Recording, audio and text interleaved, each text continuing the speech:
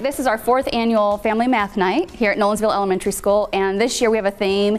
It's called Math Around the World, and so we have all kinds of events. We have kinesthetic events in the in the gym where they can climb a, a climbing wall. We have uh, football and loo football, soccer. In the cafeteria, we have a Sierpinski Pyramid Project. It's a collaborative project where the kids are going to create a huge pyramid out of mini tetrahedrons, and it's a growing pattern so they can bring in their geometry skills and their multiplication skills. We are very excited. We've been promoting this event for a couple of months now. The kids are super excited about coming in. I know we're going to have a full house um, with over 900 kids here at Nolensville Elementary School. When we invite parents, they show up.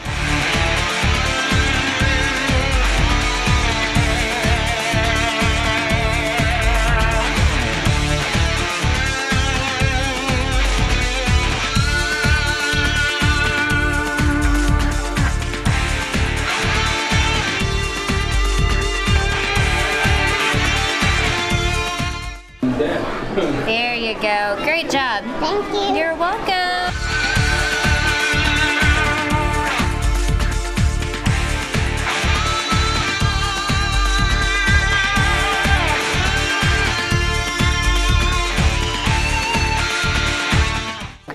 Well, today at Thing like math night, well, it was fun. I got 11 stickers on my passport, and you know, it was pretty fun.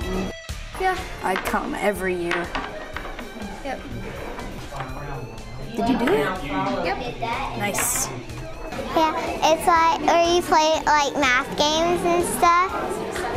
And if you get like a certain amount of stamps the next day at school, you'll give it to your teacher and you'll get um, a prize.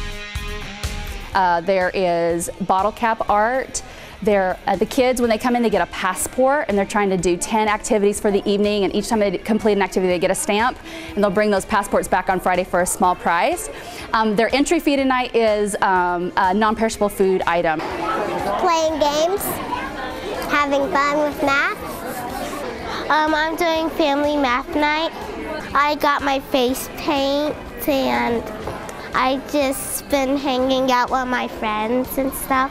One of them was, was um, you got to cl climb a rock wall. Soccer, where you kick the ball in the goal, and I got three in a row.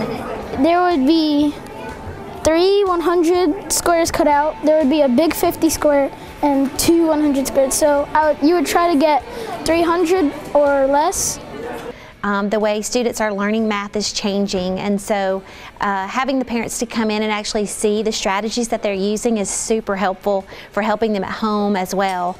Um, our math scores, we've, this is our, our fourth year to have math, family math night. Um, our math scores last year uh, for proficient advance on TCAP increased almost 8%. And we really feel like having this math night um, is a huge success and, and really contributes to that.